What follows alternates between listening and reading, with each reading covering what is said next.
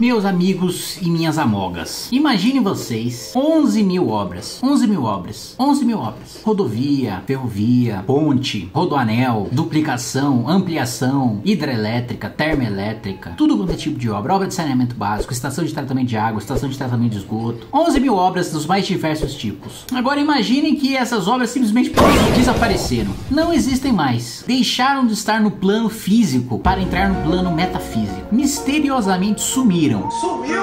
O milagre ou a maldição do sumiço inexplicado e inexplicável. É isso que aconteceu sem nenhum tipo de fiscalização e por enquanto sem nenhum tipo de penalização no governo Bolsonaro. Não tem mais corrupção no governo. 11 mil obras simplesmente sumiram, desapareceram do banco de dados do governo federal, do Ministério da Economia. E eu vou explicar o curioso caso das 11 mil obras que sumiram logo depois que você fizer aquela duplicação para possibilitar a via de mão dupla no botão de se inscrever no canal. Logo depois que você fizer aquela eclusa, aquele elevador de peixes ou escada de peixes para possibilitar a piracema de maneira artificial no sininho para receber as notificações dos próximos vídeos. Muito bem. Governo Bolsonaro, né? Aliás, vamos voltar um pouquinho. 2018, 2018 governo Temer. 2018 Ministério da Economia tinha um, uma Ministério da Economia não, né? O Ministério do Planejamento na época tinha um, um mapeado, né? E isso confirmado pelo Tribunal de Contas da União, 38.412 obras paradas. 38.412 obras paradas. 324 bilhões de reais em investimento parado. Até aí, tudo bem, né? Tudo bem para quem já tá acostumado com a desgraça brasileira. É obra parada mesmo, é dinheiro sendo jogado no lixo, tem tá tecnicamente mal formado, não tinha o um projeto, ou então custou mais do que o projeto original, ou então simplesmente tinha a roubalheira e mandaram paralisar, ninguém tocou a obra, não tinha seguro, a gente não tem performance bond. Eu tentei incluir na 8666, né? Eu tentei incluir nova lei de licitações, não consegui, infelizmente. É, mas até aí a gente tá acostumado com obra parada no Brasil, né? Obra parada no Brasil é o que? É terça-feira, é quarta-feira, é mais algum dia da semana só comum, né? O brasileiro tá acostumado com obra parada. Agora vem o pulo do gato. O pulo do gato. O do gato é o seguinte: o Tribunal de Contas da União agora só conseguiu localizar 27.126 obras paradas. Dessas 11 mil obras sumidas dos bancos de dados, 2.268 são financiadas diretamente pela Caixa Econômica, por um banco público, e as outras estão no orçamento da União, né? A União aí que junta os três poderes. Muito bem. Em 2018, né, eram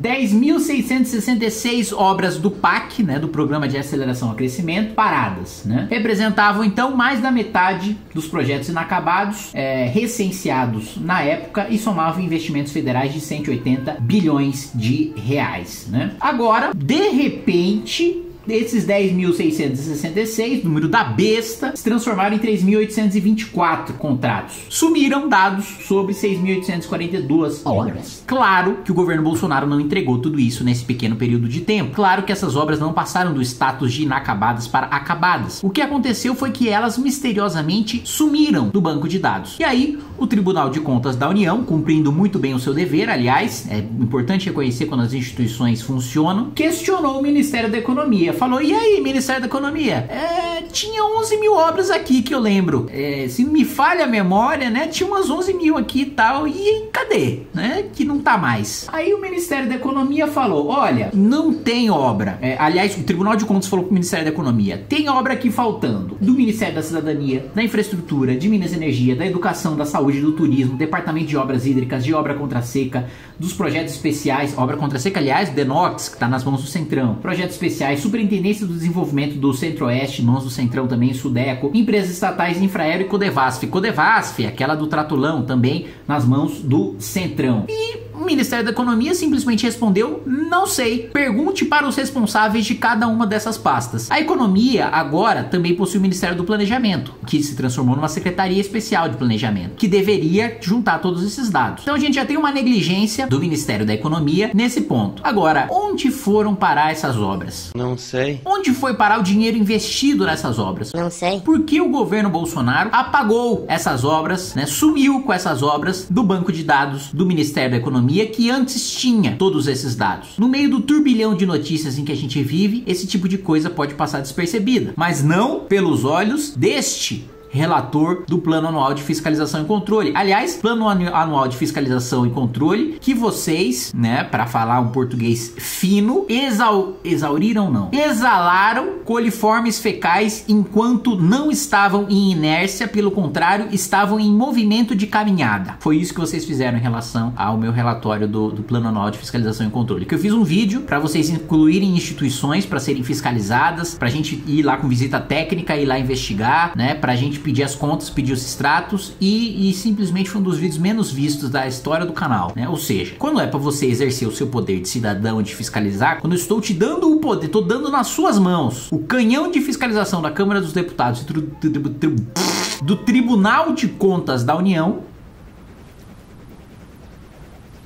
Mas enfim, vamos incluir o sumiço dessas obras no nosso plano e vamos, junto com o Tribunal de Contas da União, cobrar o Ministério da Economia e cada uma dessas empresas estatais e desses ministérios setoriais. Onde é que estão essas obras? E por que misteriosamente, né? Misteriosamente, boa parte dessas obras que sumiram estão em ministérios ou estatais comandadas pelo Centrão. Que coincidência, não é? Não é mesmo? Veja só. Vamos descobrir tudo isso com o Tribunal de Contas da União e aí veremos se nós temos um Sherlock Holmes aqui. Um abraço e vamos fiscalizar tudo.